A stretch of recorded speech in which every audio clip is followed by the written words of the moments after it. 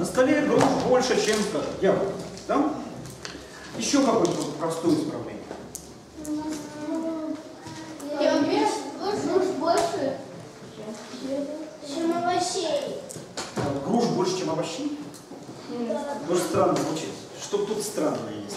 Потому что тогда на столе больше фруктов, чем овощей, скажем. Ну-ка еще. А еще можно сказать так. На столе больше фруктов, чем груш. На столе больше фруктов, чем груш. Это Нормально это может быть и правильно, но сказать так едва ли возможно. На столе Ну, хорошо. больше груш, чем... э, Дальше. Второе. Тут что странное? Стол квадратный. А, да, просто квадратные. Что? А? А если стол квадратный и окно квадратное, то не может квадратнее. Так, то есть нельзя быть квадратнее. Это вообще как бы невозможное слово в сравнительной степени, правда? Есть такие слова, Ага. которые не- нельзя просто. Есть такие слова, к которым неприменима сравнительная степень, правда? И превосходная степень. Нельзя быть более деревянным, скажем. Правда? Или Да. более стеклянным. И еще окно-то может быть круглым. Или М. стол, или стол может быть круглым. Или стол может быть. Согласен. То есть с этим словом у нас вообще все плохо. И ясно, э, непонятно, что вообще имел в виду автор. Как он сравнивал стол с окном. Там. Вот. А, Кто-то мне предлагал такой вариант исправления. Стол имеет форму квадрата, как и некоторые окна, допустим. Ну вот тут пойдет. Или форма стола более приближена к форме квадрата, чем форме окна. Стола. Стола. А, третье. Тут совсем все просто. Повар солил, а суп солил. Ну, повар посолил суп солью. Что не так? Ну, посолил соль это одно. Посолил солью. Это тоже это одно же. Посолил. Да. Можно, можно или э, можно посолить. Ну ладно, посолил, потому что солью посолил.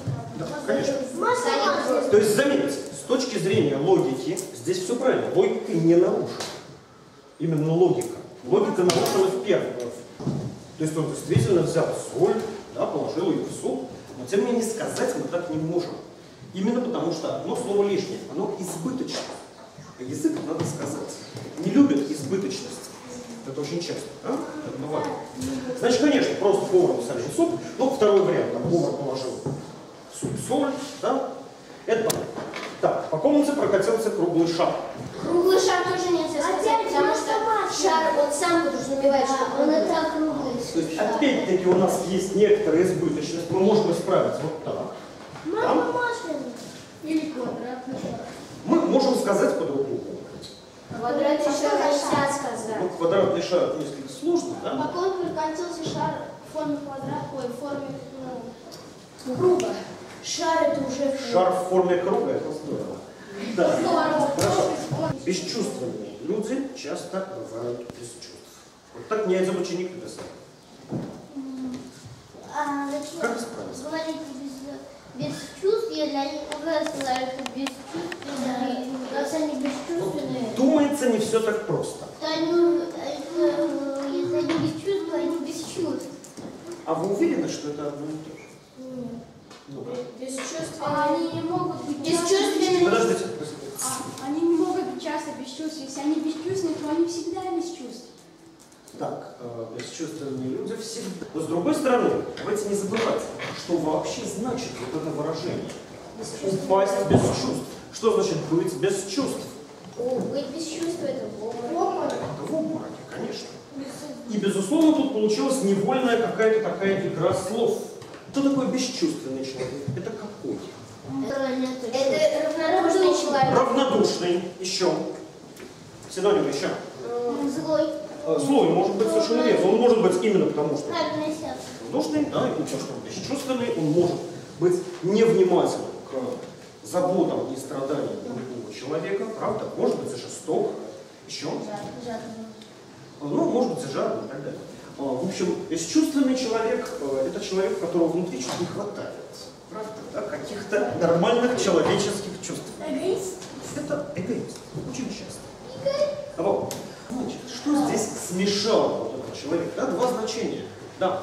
Ну, мне кажется, что если человек с чувствами, зачем он всему равнодушный, зачем он просто не может упасть в обморок?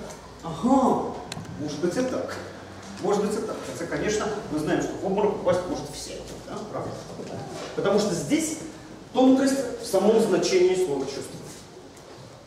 Слово чувство.